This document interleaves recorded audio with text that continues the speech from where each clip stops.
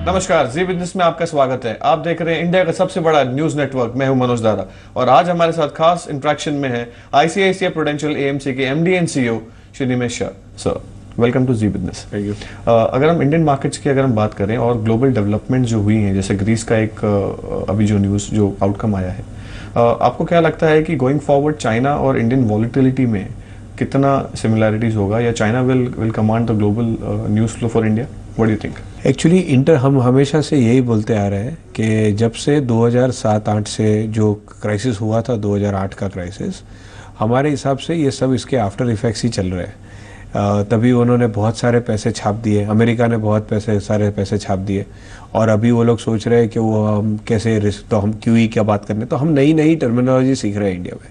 पर इंडिया का बेसिक क्या है कि अपनी economy is quite independent of the world economy Right. हमारा जो इकोनॉमी है हमारी कंपनीज़ की प्रॉफिटेबिलिटी इज़ बेस्ड ऑन कि इंडिया में क्या होगा जी। क्योंकि हर कंपनी का 70 से 80 प्रतिशत is sales in India itself Right. so as a country as a economy we are actually very well insulated with what happens in the world हमारा दुनिया के साथ उतना कनेक्शन नहीं है जितनी Right. बाकी कोई इकोनॉमी का होता है Right. पर हमारे फाइनेंशियल मार्केट्स वेस्ट से जुड़े हुए हैं क्योंकि Right. बहुत सारा पैसा वेस्ट से इंडिया में इन्वेस्ट हुआ जी। है तो we have got a very interesting scenario कि हमारा real economy is not connected with the west as much as the financial world is Right. So financial world हमेशा रिएक्ट करता है वेस्ट में जो होता है पर रियल वर्ल्ड उतना रिएक्ट नहीं करता है तो it always throws a lot of opportunities मैं हमेशा बोलता हूँ वेस्ट में अगर एक नीज आती है उसका रिएक्शन इंडिया में आता है तो जब भी प्रॉब्लम वेस्ट में हो जिससे इम्पैक्ट इंडिया में हो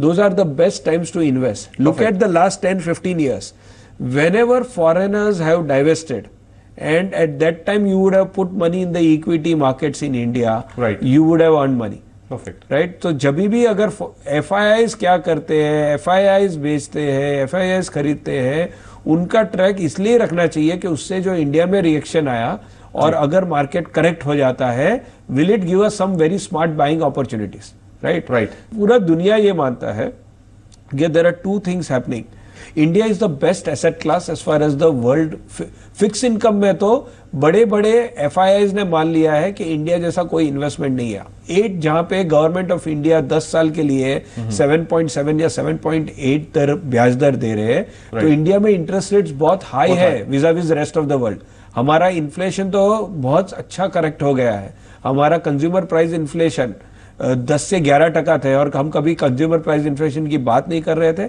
आज हम सीपीआई फाइव परसेंट के around five point four percent अभी लेटेस्ट फिगर आया है। सो मेरे हिसाब से ये बहुत ही बड़ी पॉजिटिव इम्पैक्ट है जिसका अभी तक इंटरेस्ट रेट उतने कम नहीं हुए जितना इन्फ्लेशन कम हो गया है। So it is we were a country with a negative real interest rate. Right. from there we are a country with a great positive inter, real interest rate. आज तकरीबन दो से ढाई टके का पॉजिटिव रियल इंटरेस्ट रेट चल रहा है कंट्री में। So I think it's a brilliant opportunity to India invest in India from the foreigners also Right. To invest in India debt और Indian equity that's how they are looking जैसे आपने कहा कि it's a brilliant opportunity to invest in India foreign investors के point of view से भी और retail investors के पॉइंट ऑफ़ व्यू से। मूविंग ऑन अगर आपको ऐसा इतनी ऑप्टिमिस्टिक स्टोरी है इंडिया की तो आपको क्या लगता है 2015 मार्केट्स कहाँ कौन से लेवल पे क्लोज कर सकता है और which sectors will do well मैंने ये कहा है कि फॉरेनर्स इंडिया को बहुत ही अच्छा अपॉर्चुनिटी देख रहे हैं क्योंकि बाकी सारा दुनिया बहुत स्लो चल रहा है। कौन से कंट्री में आज नॉमिनल ग्रोथ मिलेगा? 11-12 टके का। अगर हमारा साठ टका भी ग्रोथ आता है और पाँच टका इन्फ्लेशन है तो 12 टके का नॉमिनल ग्रोथ तो फॉरेनर्स वो देख रहे हैं।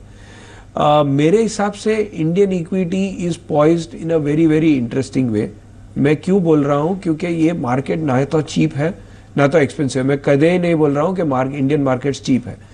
तो ना तो इंडियन मार्केट चीप है ना तो वो एक्सपेंसिव है they are very beautifully priced right last डेढ़ दो साल में पूरा मार्केट ऊपर चला गया साथ में लोगों ने बहुत पैसे बनाए तो what has made money in the last two two three years is not what is going to make money in the next two three years right. next two three years we have to be very good we have to pick up our stocks very well right, Right. we have to be able to identify the sectors that will do well अगर हमने sectors जिस mutual fund ने या जिस AMC ने sector ठीक ठाक उठाया और उसके अंदर बहुत डीप काम किया आई थिंक वो म्यूचुअल फंड्स और वो सेक्टर्स वो अच्छा करेंगे।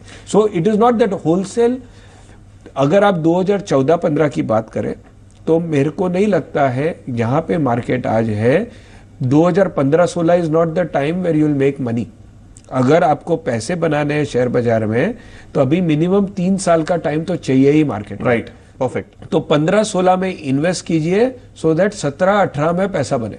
तो तीन साल का टाइम देना पड़ेगा आपको मार्केट में अगर पैसे बनाने we are in a phase of average return right where we should not expect what happen in two thousand fourteen fifteen to get repeated in every year right it was abnormal return that we got in हमको थोड़े हमको थोड़ा abnormal return मिला।